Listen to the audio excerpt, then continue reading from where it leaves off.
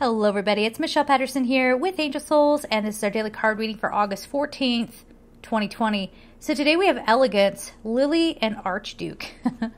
Check this out. Oh, I love it. So, where can you bring more beauty and grace into your world?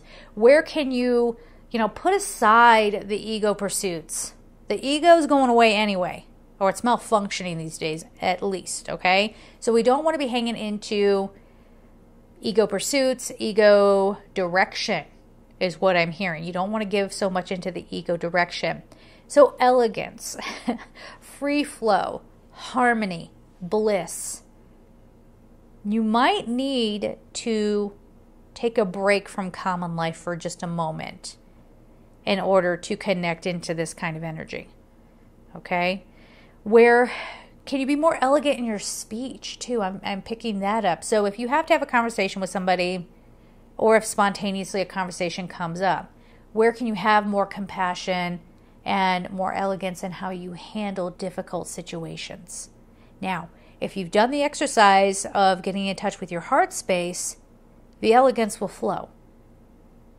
You will only speak your truth and you would only speak it in a beautiful manner or in an appropriate manner.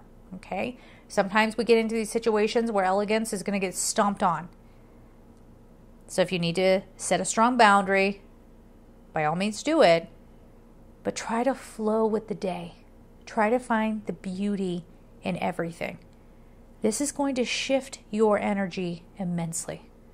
All right? So we're going to leave it there, guys. I'm sending you all so much love and take care. Bye bye.